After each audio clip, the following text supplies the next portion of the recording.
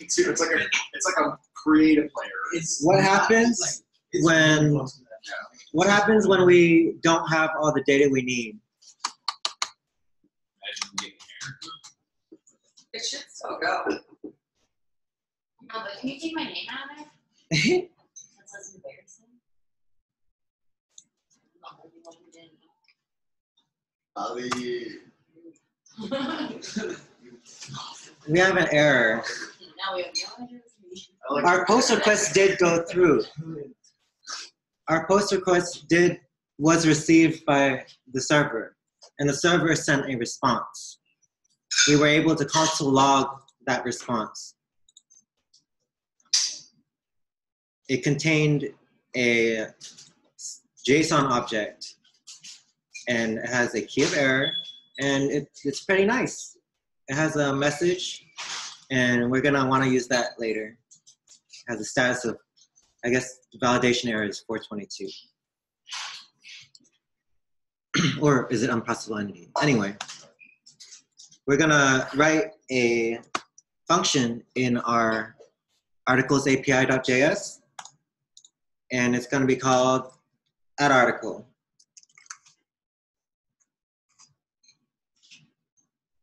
Mm. Oops.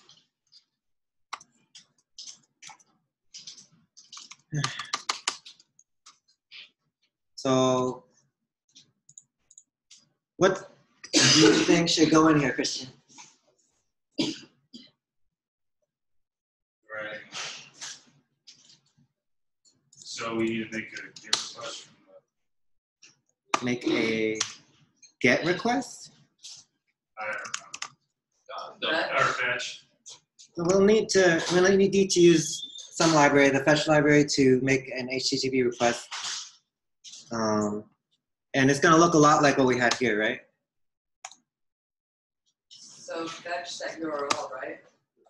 Fetch that URL. Well, what, whatever, three thousand, uh. Oh, I have it. I have it up up here. Okay, yeah, okay, that's what you have up there, perfect. So if it changes. Do I need it to interpolate it, Bobby? Oh, you're eating. Um, do, do I need to interpolate it, Kyle? Uh, you put it in a string. It is a string. Oh, sorry. Do we sorry. do we need anything besides the URL? What would do? Yes, I- I don't know what you're doing right now. Uh, So I'm trying to make a post request. Can you just copy that over onto this? Oh, sure. You know that- That makes sense. That doesn't work because you took out the first thing. Yes. Just for reference. So we need this URL, and I already have it up here. Mm-hmm. And what I was looking for was a second parameter. So we, that's called the options object.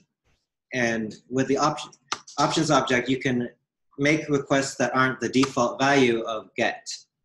So if I want a method of post, then I can do that.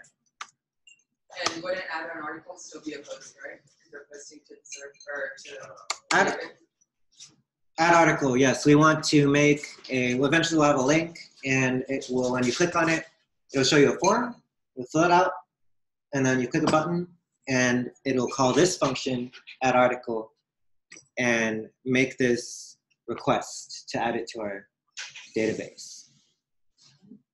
So then you do uh, the fetch would be putting basically what you have there, um, in your fetch response right there, 'cause that's the code that you would be wanting to send to our server.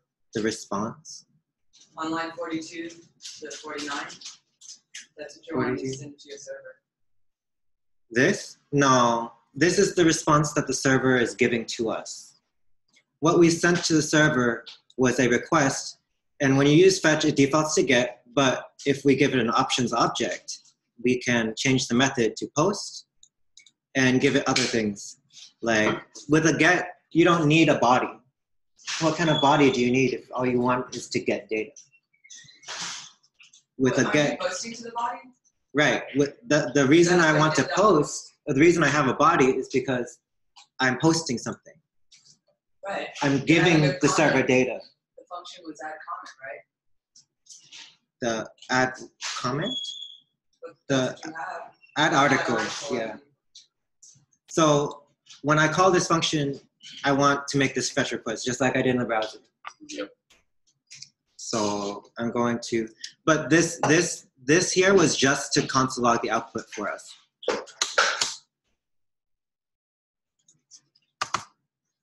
This would do the same thing, but it would just return some promise or something weird that you can't really see.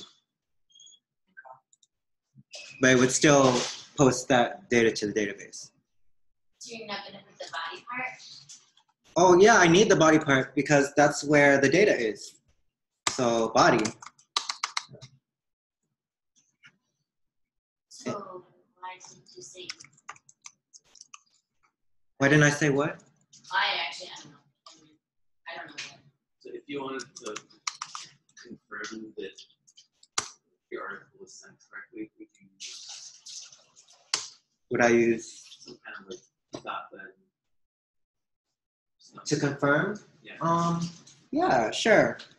When Just- when I call this function, if I return this fetch, then the fetch, what does the fetch return? Probably- HTTP request. Not a JSON, not a HTTP request. just run the prompt. A promise. Thank you. It's a promise. That's why you have to use then. You have to either use then or async to deal with the promise. Otherwise, you'll just get a promise object that's useless. But we can just return this fetch, and then this function becomes something that returns a promise. So whenever you call that function, you can call it and then do something with that promise, with a dot then or an async or an await. You don't need it then, even, We can have it then. We can have it then, but we don't need it. We can add it where we use it. What? Because if we, what do we want to return from this? Is the question. It, we could, but I, I, I'm planning on doing that in in the component itself when I call the function. Okay. If you wanna do something like display, like a success message, that's where you would do it. A success message. Ah, yes, that's why we want to return because we had that return there with all these dot thens, and we want to parse through that somewhere. Could be here, but do we want? What if it is a success? If it's not, how do we choose what to return? Just as if It's- you get all the information and you wanted it to say, okay, I added that to the, all that information will be returned in the promise that fetch gives back. It'll be returned, and then we can we can just put this code in front of it, and then we'll get the the JSON. We could. Do you want to? I guess. Hmm. It's up to you. I'm just gonna. I'm gonna stick to this now. So now that we have this add article, I'm missing something here. Nate, what am I missing? I have no idea. What am missing here in line 34 between parentheses?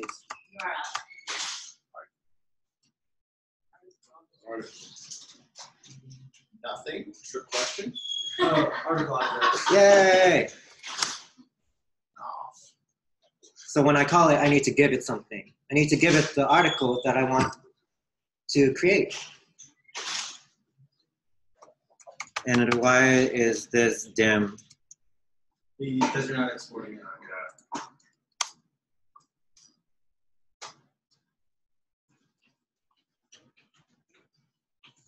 Okay, so I'm going to. Uh, there, there are some tests you can run at this point. Um, they should pass. Um, There should be one that the doesn't. Test Yeah, that we had from before that we copied and paste into your file. Say again. Go scroll down on your actual uh, articles.js. Oh. Take that out, so it should pass now all your. oh. Does it run when I refresh? Ooh. That's nice. Okay. Did it? Oh, this isn't a friendly error though. Oh, you're, Oh, I'm it's not that you're still. still on the page that doesn't exist. Oh. Pretty mad.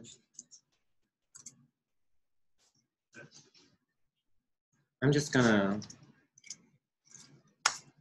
Oh. Hmm. That wasn't even the test.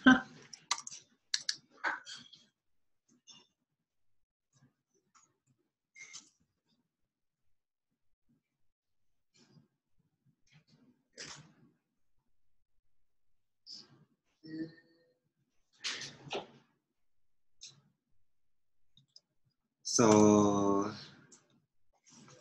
Oh. Okay, they all pass. So I need an add article page that will display my form.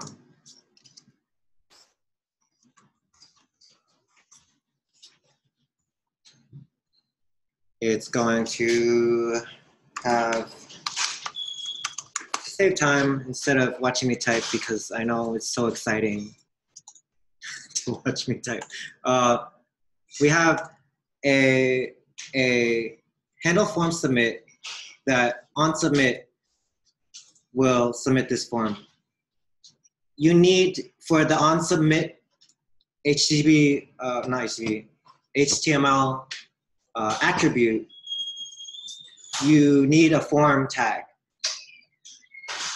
All your inputs will be submitted on submit when you click a button and you need a input type submit that will show up as a button. And whatever the, the value is, is what it'll say. Submit my form, or what it'll just make the button bigger. Because this is how you access the elements, the value inside of these inputs. So whatever I type in here, let me just go to this.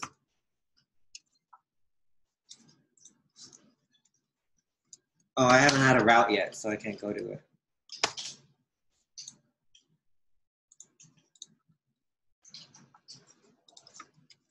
Hmm.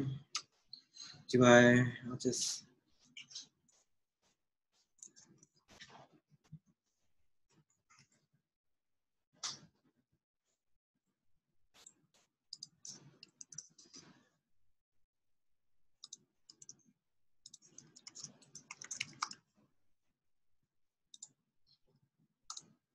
Does that look good to everybody? Okay. Does that solve our problem?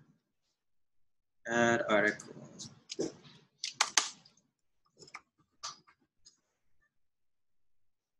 So we have this here.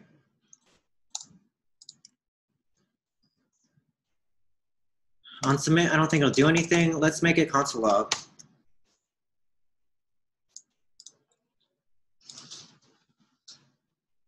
So I'm just gonna console log the whole object.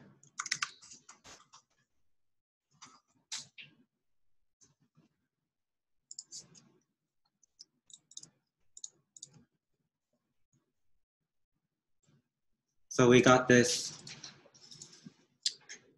um, we got this object here. Does anybody have any questions about how this works?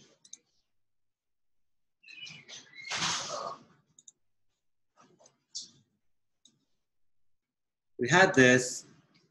Does it even work since I already called the function? I called the function add article from articles API in my handle form submit. I think I think I lost people by copy and pasting, didn't I? Did you, have we, since we called that function Uh on. Articles API, did we actually add a article when you hit submit? Because if the function ran properly, you made the post request to the database, and on our wouldn't-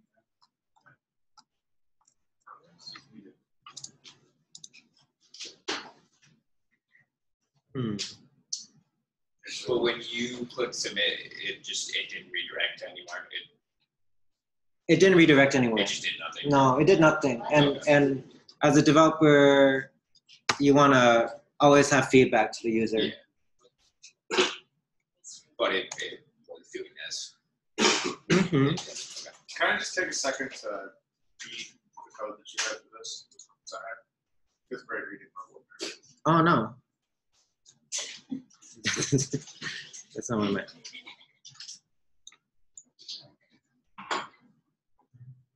You go out to uh, the, the imports. I didn't check. Oh. I should have just copied and pasted it another page and then edited it for you guys. I was just typing this and I was like, oh.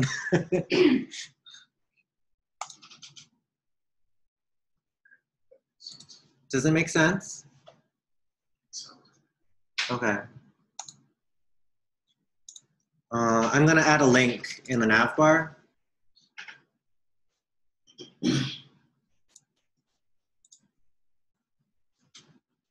a link and I'm gonna put it here. And it's gonna be a link. I already imported it, so that's nice. Um, so I need to give it a class name of nav item because it's actually inside the nav at this point. Wanna do that Oops. inside of link? yeah, I have to do it inside the tag, the link tag, and now auto completes for me. And what else does a link need? Bobby, what else does a link need? Two. to where you want uh, URL to go or be. Okay. go.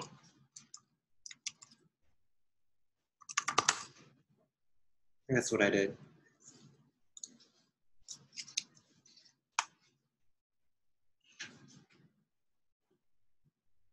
Uh oh. Does it need a key or no? Does it need a key? I don't know. I'm asking. I don't know. All these different questions. Oh, no, I think it needs a value though. Or something inside here.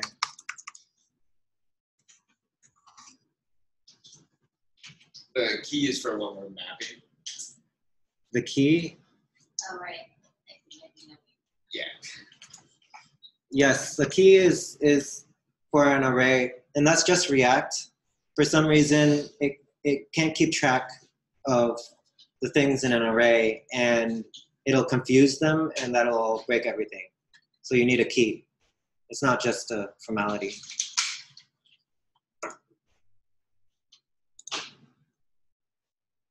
So we're we're basically almost done with news site five. All we have next is a login page. So we're gonna go through the. We just added a, a page and article, so it should be fresh in our minds what we need to do. That's okay. Bobby, can you walk me through a uh, how what what I need to do to make a login page? I'm gonna need to go through a few files or a couple of Like a files. page, hmm I just made an add article page. like an. Uh, just a login page. I'm gonna call it login page. Um, the URL will be login slash login. Um, can I- Uh, no, can't find it yet. No. trying to think about that. Okay, so I added. These are my Oh, pages right here. like a home page, article page. All right, so maybe go to pages, right? Uh huh. Create a new file Create a new file. called login page. Ah. Okay. and less import some stuff, go to home page. Yeah.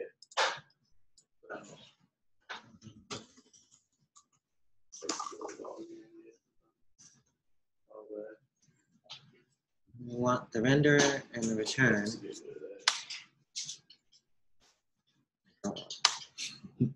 That. Um,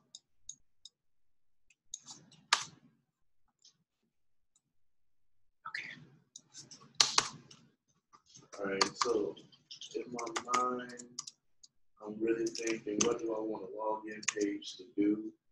mhm. So I'm thinking it wants like a box and it wants to accept like a, a username, a password that we're doing. yes but first um, before we make the component i want to see it let's say i have a So you want to create like a template first? Is that what you're saying?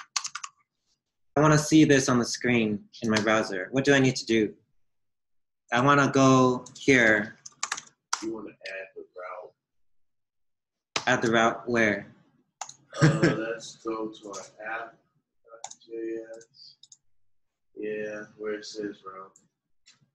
Know, all those tags, just make a one that says uh, login.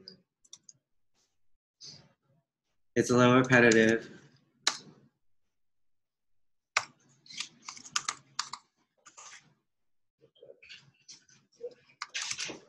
The login page, yeah. yeah. okay So now you can go to that page and then it will render whatever's in the login page. Hopefully you can go to that page. It's not, oh, you gotta, uh, add it to, um, import it.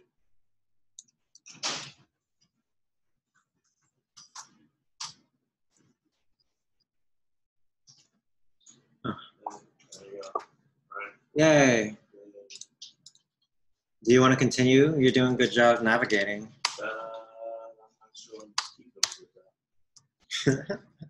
So, so a login page, we just made a form in the other page. Can, do you, do you remember what it looks like?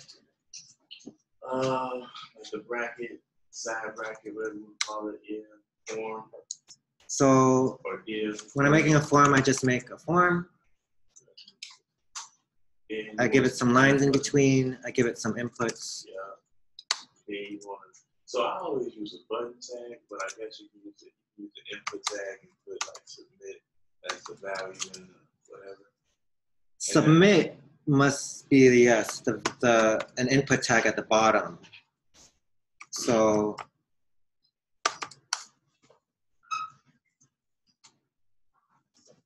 oh, it'll have a. I'm just gonna copy it. It's gonna have a type and a value of submit. It doesn't have to have a value of submit, but it has to have a type of submit. This value will just would be whatever the user sees on the button. Is there any reason why you wouldn't use button as a tag? Maybe if you want to like A button? Um, uh, you might. You, uh, we can try.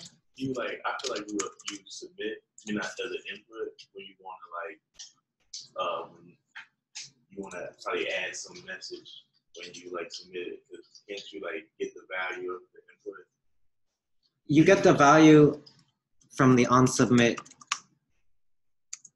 You can get on change. You can on change a form, and every time they type, you get it. But why? Like so, we have the submit button.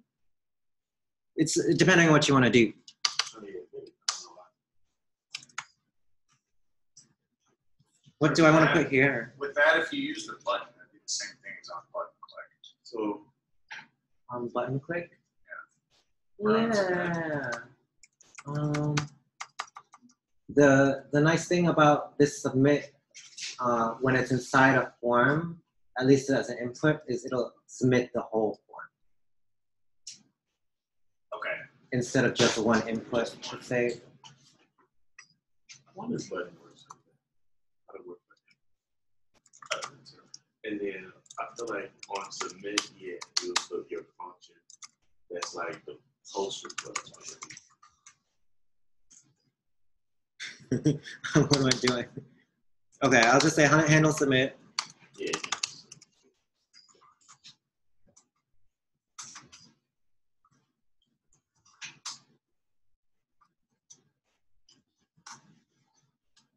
Okay, uh, Holly, what do I do next in this handle submit? I have a form here. Um, I want to I think I think my form isn't done because when I go, it it looks pretty crappy. Oh, oh, that button definitely did some refresh the page, but it definitely doesn't have a value any that we can't see this submit. If we had an input here, I didn't see it. I don't see it. this button. So, so you can you can style this however you want. So it'll look like whatever you want. But when you click on it, it will submit the form. Uh, we need some text inputs here. So Do you type button where you have submit on line fifteen, put type button? on line 15, type this Mhm. button. Yeah.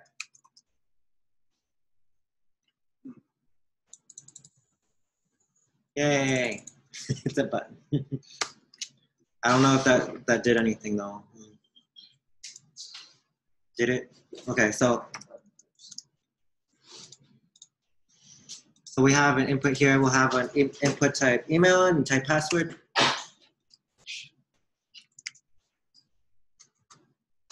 And um, those will also be the names. And it's placeholders. Yeah. Um, is that how? You can just That's put like just a, placeholder. yeah, you put placeholders, Ah. it in the box.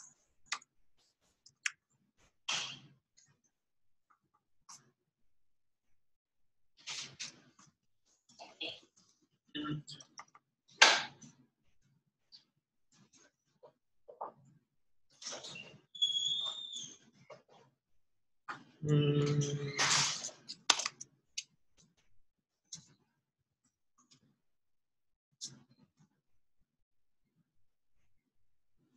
Yay! I, that I want some some line breaks. Ooh, that not a capital. What is that?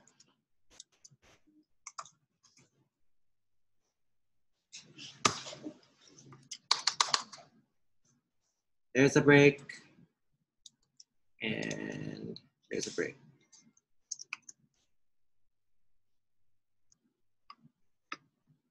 Hmm.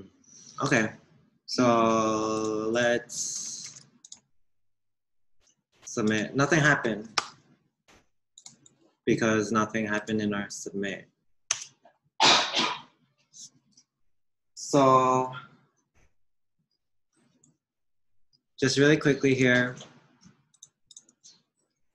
Does anybody know why we need event prevent default? Click, it'll do something. So doesn't go back to it Wait, what are you talking about for the default for what? So I submit this button. I submit this form. The uh, default for submit button is to do a, uh, a request or a push request or something like that. Not a get request. Hmm. If you look at the URL, you might you might see what it's doing. It's Oh, it updates the URL? yes, it redirects us to a URL with some parameters in it, the parameters of the form, passes in time. and it passes in the parameters. So that's the automatic function of a, a default form submit.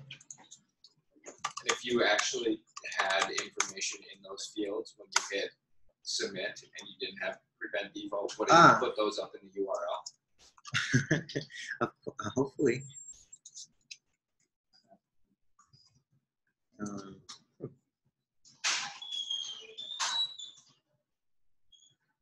Ah, so I said type equals email, and because of that, it's fancy and it knows it needs to add.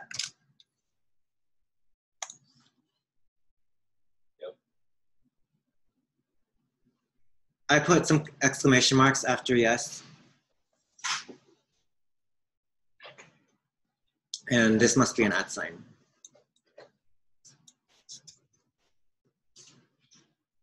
But the basic um, syntax of this is just question mark, key equals value. and key equals value, and key equals value. And if you have that in the URL, you'll be able to access those parameters through this here. And we'll have the props.match.params. Params is what we're looking for. Those are params. That and this equals that. the last thing we'll do before I let you loose is we will console log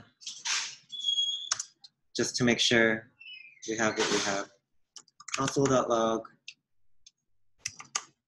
the things in the form. What do I put here? Is it? It's not value because it's a form. Uh, element. At zero.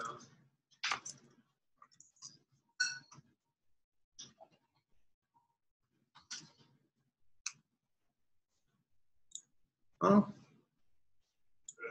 unexpected use of event. Oh, What am I missing? the- I wish it was automatic. I guess you have to define what you want to call it. Okay.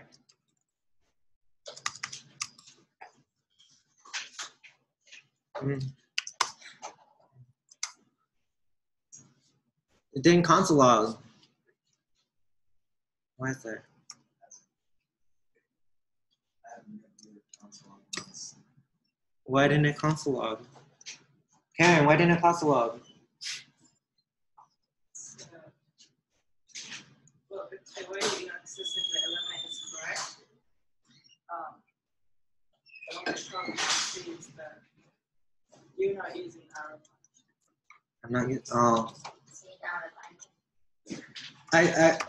I, I don't think that's what it is. The console log just event, and see. Is there? Um, sure, sure. target Elements value. Maybe it's put in there something else. I'm kind of torturing you guys right now.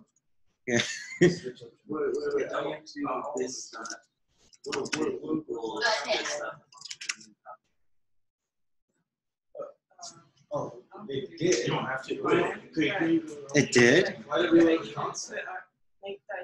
It's not in the regular- When you call on submit, you It's not in the return. It is. Oh, wait, no, no, no. That's right. That's we did turn to the console.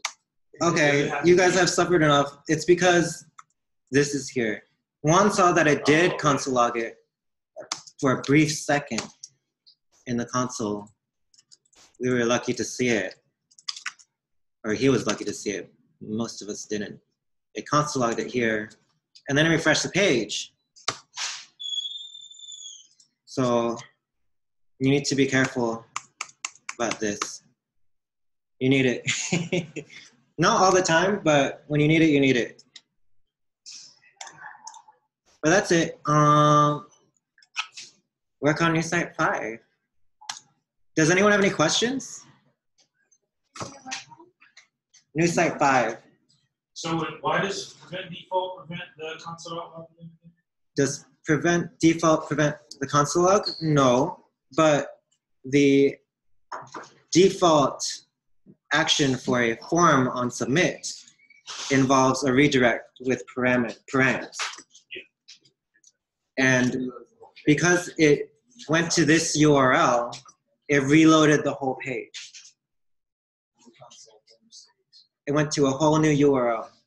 Right, but what's the prevent default, did you get the console log? Did you see that? So when I have something in here in my console, if I go to a different URL or I refresh the page, it's gone.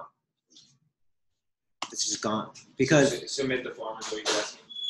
Can we just see it with, the- can we see the console log? Yeah, we never see. Ah. Did we ever see the console log? Like, like you just keep saying it works, but like. one of saw it times- lot of times it's just like. There we go. You do stuff that doesn't actually work. Gosh, I, I keep doing that. I'll like do it and then I'll know it works and I didn't show you. Yeah, but That's not the first time I did it today. a lot of Anyway, times when you know something works, it doesn't actually work. That's helps true. us see it. Yeah, It's and that's bad. Yeah. you might see it. hmm Like, It's kind of, it's a bold, it's a bold stance. And you also need. That's why you need tests too. You can't. You can't my gosh. do every little thing yourself all the time. That's not doing it. How secure is that? How secure? Oh, is console logging your name and password? No, you just get it out there on the link. Do it every time.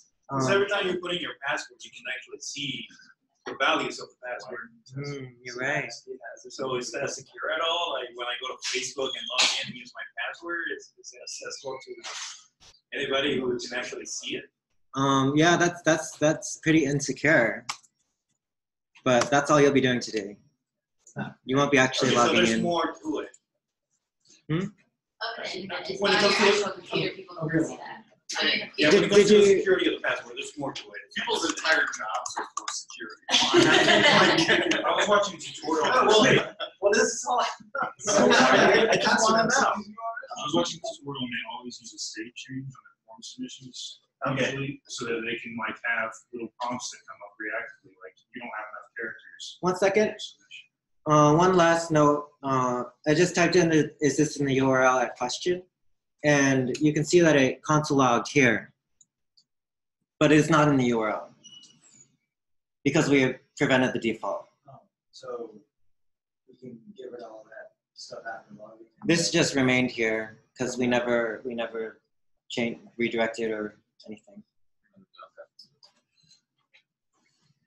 Okay. Uh, let's start